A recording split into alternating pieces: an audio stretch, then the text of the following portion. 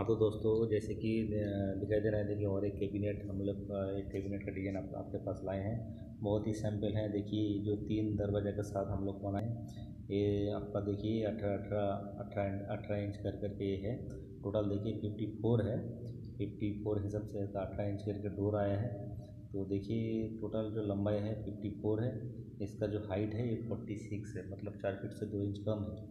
देखिए, जो हम लोग ग्लास का डिज़ाइन किए हैं एक एक ग्लास डोर में छः छः कटिंग किए हैं इसको। इसका जो कटिंग का जो साइज़ है, ये छः इंच चौड़ाई में है। बाकी जो लंबाई है, आपका देखिए फोर्टी सिक्स में है वो हिसाब से डिवाइस करके हम लोग किए हैं। देखिए, दो इंच का चौड़ा है, ऊपर में जो है ढाई इंच चौड़ा है का जो पट्टी है, अंदर से हम लोग इसको ग्लास लगाए हैं। तो बहुत ही, देखिए, दूर से बहुत ही अच्छा लग रहा है। अगर आप ऐसे बनाना चाहते हैं तो ये हॉल पे डिज़ाइन है। तो ऐसे आप बना सकते हैं। ऊपर में देखिए अंदर में फुल ग्लास का पार्टीशन मतलब हम लोग डाले हैं सेल्फ। देखिए इसमें दो सेल्फ है। सॉरी तीन सेल्फ है। तो देखिए आपका इसका जो डीप है ज़्यादा नहीं है। चौदह इंच का डीप में है। देखिए इसमें तीन सेल्फ मिले हैं। आप कुछ भी हॉल पे शो वगैरह जो रखते हैं सेम वही प्रोसेसर है।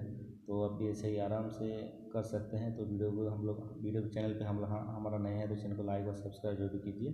तो ऐसे हम लोग रोज़ रोज़ नया वीडियो लाते रह, चलिए देखिए दूसरा डोर है, इसमें भी देखिए सेम वैसे ही है, इसमें भी तीन तीन स्लैब स्लैब है ग्लास का मतलब देखिए ये इसका सेकंड डोर है मतलब थ्री दरवाज़ा है, इसका देखिए ये तीन नंबर है, देखिए इसमें भी सेम वैसा ही है, देखिए छोटा ग्लास का छोटा बड़ा डिज़ाइन है, आप वैसे ही करके कुछ भी आप जैसे सो वगैरह का साइज़ रहता है, उस हिसाब से आप डाल सकते हैं। तो देखिए हम लोग इसे पीछे से ग्लास लगाए हैं, बहुत ही अच्छा लग रहा है, अठारह इंच चौड़ाई में है, तीन तीन दरवाज़ा हाइट है फोर्टी सिक्स देखिए, नीचे चार इंच इसका रिंग छोड़े हैं। तो वीडियो का अच्छा लगा तो वीडियो को लाइक और सब्सक्राइब ज़रूर कीजिए।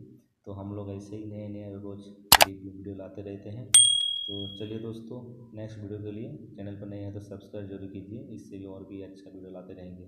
धन्यवाद दोस्तों।